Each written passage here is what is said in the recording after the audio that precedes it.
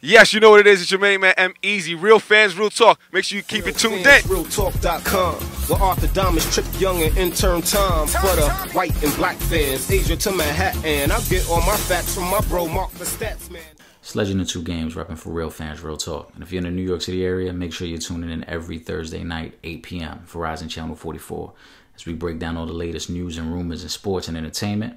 Speaking of rumors and sports, we got to get into this Odell Beckham situation. It's a lot of talk that he could potentially hold out for a new contract extension.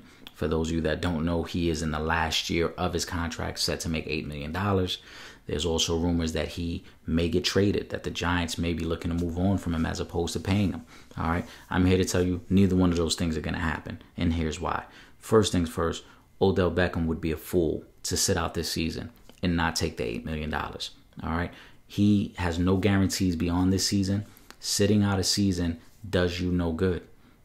Whether you think you're hurting the team or not, you're really hurting yourself. Football is going to continue to move on whether you're playing or not. And if you sit out the season, it just further pushes the Giants to make other moves to fill your spot. That doesn't necessarily mean they're going to trade you. They may fill your spot. They may give that money that you thought you were going to get to someone else, and you find yourself on the outside looking in, trying to scramble to get things together again. All right. Second part of that is there is no trade for the Giants to make.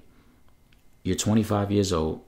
You're on an $8 million contract in the last year of your contract, and you're set for an extension meaning any team that trades for you is going to have to not only give up the assets that the New York Giants want now, but that team is also going to have to be willing to resign you to a contract comparable to what you want, which leads to the biggest issue of this whole thing. Odell Beckham wants to be paid as the highest paid player in the NFL, and that's not going to happen. There's no way that you're going to get paid what a quarterback makes because, quite frankly, your position is not as important as a quarterback. We see plenty of quarterbacks have success without an Odell Beckham as their wide receiver. We have yet to see a wide receiver as talented as Odell Beckham have that same success without a quarterback. Randy Moss was probably the last example of that. Look at Randy Moss's numbers when he played with some of those really bad quarterbacks throughout his career. And then look at his numbers when he played with Tom Brady.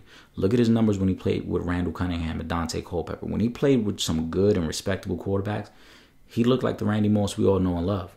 But when he played with some Kerry Collins of the world, Matt McGloins, some really bad quarterbacks, he couldn't have the impact that we expected him to have. So, Odell Beckham, this is what you need to do. All right, first thing you need to do is be healthy. Three of your four NFL seasons, you've been injured, and it's hurt you on the field and it's hurt your team.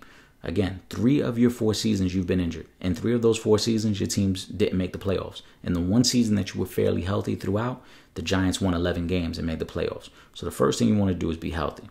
The second thing you need to do is you got to ball out. You got to have a historic season. You've got to make people remember why you are considered one of the best, if not the best, wide receiver in football. All right. The third thing you need to do is shut your mouth all this talk about what you expect to get paid and what you're going to do if you don't get paid, when you combine that with the partying, with the recent videos that surfaced of you in a hotel room with a young lady who was was uh, chopping up some coke, all those things hurt you.